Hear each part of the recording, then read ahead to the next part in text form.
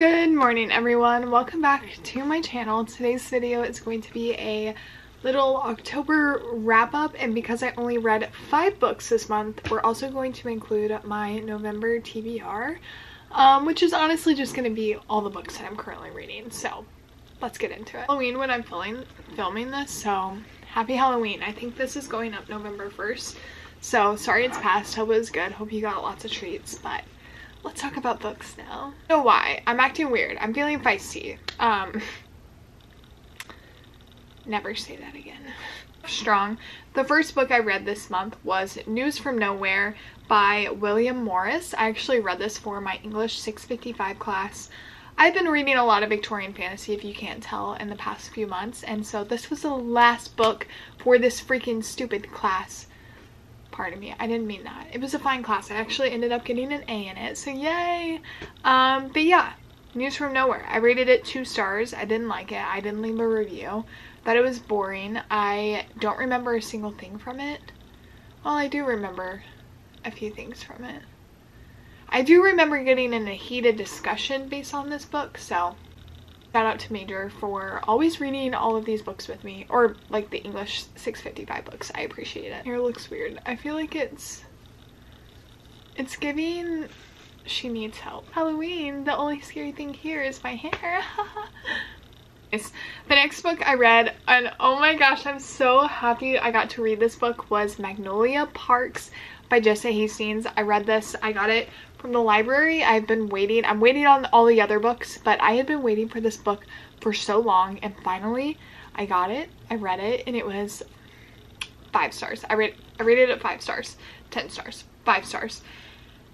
And oh my gosh, my heart absolutely broke at the end. I honestly did not see, like, if you guys have read it, if you guys plan on reading it, I'm not to spoil it, but the ending, like, the person, and that's all I'm going to say, honestly shocked me. I was not expecting it at all. Um, listen to people when they say BJ and Magnolia are like goals, but also like do not enter a relationship in real life like that. Like it's only fun because it's a fictional story. It is definitely people's comparisons. The comparison of Gossip Girl, but for the British elites, that's exactly what's happening here and I loved it. It was fantastic. I will say the writing style was definitely interesting. I've never, I've definitely read books that address the reader, so I don't want to say I never, but I feel like I definitely noticed it to be different compared to all the other books that I have been reading or have read in like the past couple years. Kind of read like the the narrator Magnolia. I think that's I think Magnolia is the narrator. It read like she knew that we were present. So like she was talking to us, I guess. Um, and sometimes it was like weird for me, but it was fine. It was like actual Gossip Girl. So take that, take, take that as you will. And then I read another great book. I read Fourth Wing. Major actually let me borrow borrow her copy of this from the library. We both read it while she had her library loan, which I'm so grateful for her.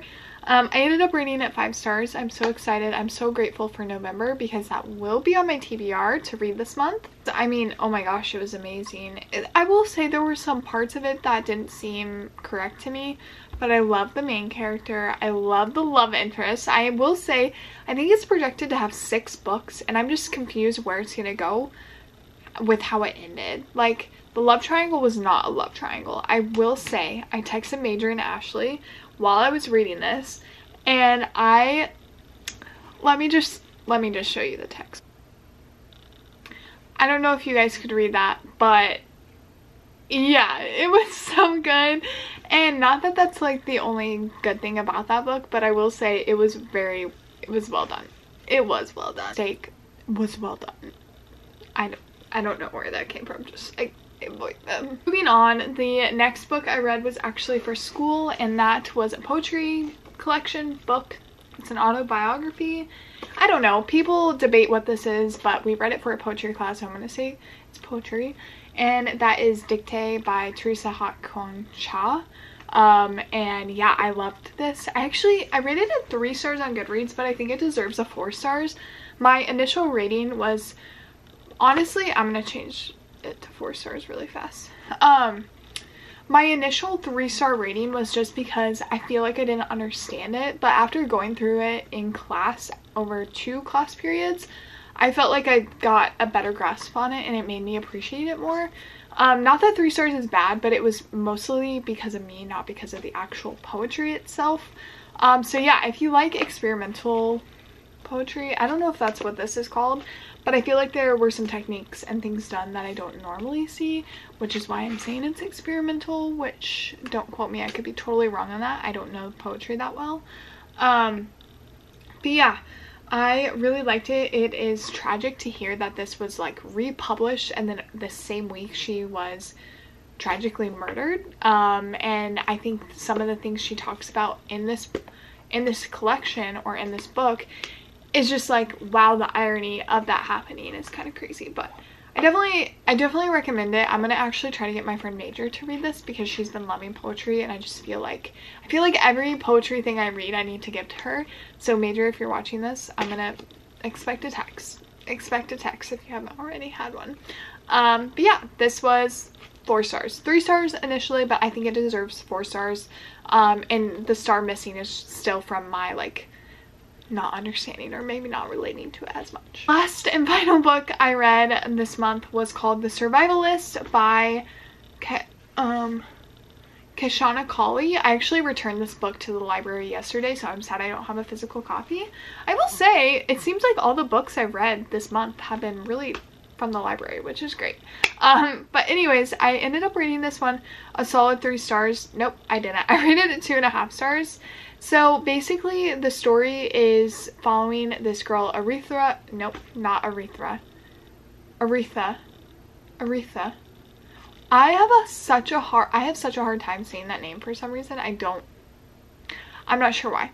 But anyways, we're gonna move on. Um, I don't, I'm talking with my hands a lot today. There's a lot of energy going on. it follows this main character. She's a black woman. She's a lawyer as well. And she starts dating this guy where he is a survivalist. And if you don't know what a survivalist, it's kind of like doomsday preppers or whatever it's called. Um, where they just like, they kind of believe the end of the world is going to happen. And so they're always kind of prepared for that. And for some people that makes them kind of reclusive and like creates bunkers in their house and like they have a lot of guns and random things like that. So basically she starts dating one of these people who claims he's not really a survivalist, but as it keeps on going, he kind of is. And it's basically just a relationship between them and how she um, kind of gets entrenched into that world. And then the end had like a major shift and I didn't understand what was going on. Um, but yeah, it just wasn't my style of book. I had to read it um, to review it. And so I probably honestly would not pick this up. I don't want to say I wouldn't recommend it because I think for the right audience, it's it would be a great book. But it just didn't interest me. I felt like I just, yeah, I didn't really like it that much. And that's completely okay. That's my opinion. But that's my opinion. Move on to the books I want to finish this month. Number one being Golden Son by freaking Pierce Brown.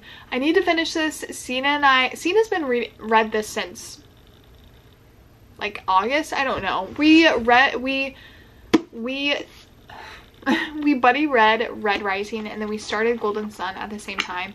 And I just have not been able to pick it up. It's a great book. I rated Red Rising five stars. So far, this is honestly better than the first book. Um, so I don't know why I can't pick it up. I think I'm just like everything going on around me is, yeah. But anyways, I would really like to finish this book. If it doesn't happen, it'll be on my December TBR. We're going to try to finish my TBR before the end of the year. Um, so we have two months. One is Consumed by Aja um, Barber, which I actually have it in my book bag, so I'm going to grab it.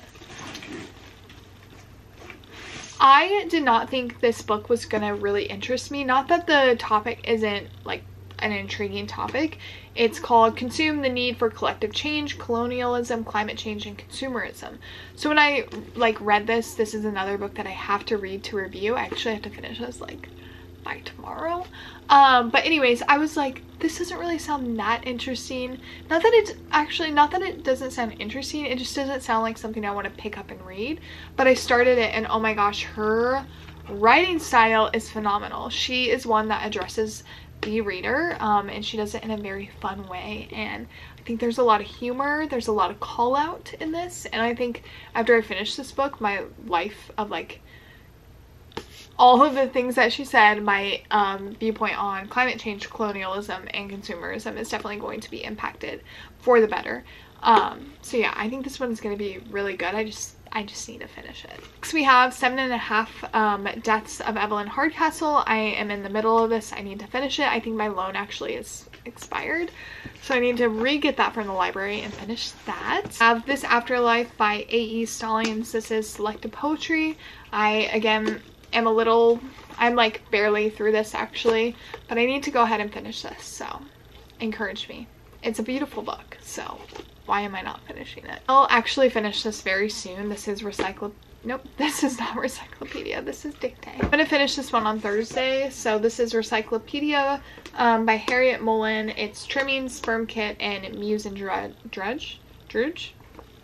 I don't know. I only have the last section left, so I'm definitely gonna finish this. So at least we know at the end of the end of the month, this book will be there because I'm almost done with it. Random books that I want to read. Like I said, I want to read Iron Flame, which is the second book in the Fourth Wing um, six book series.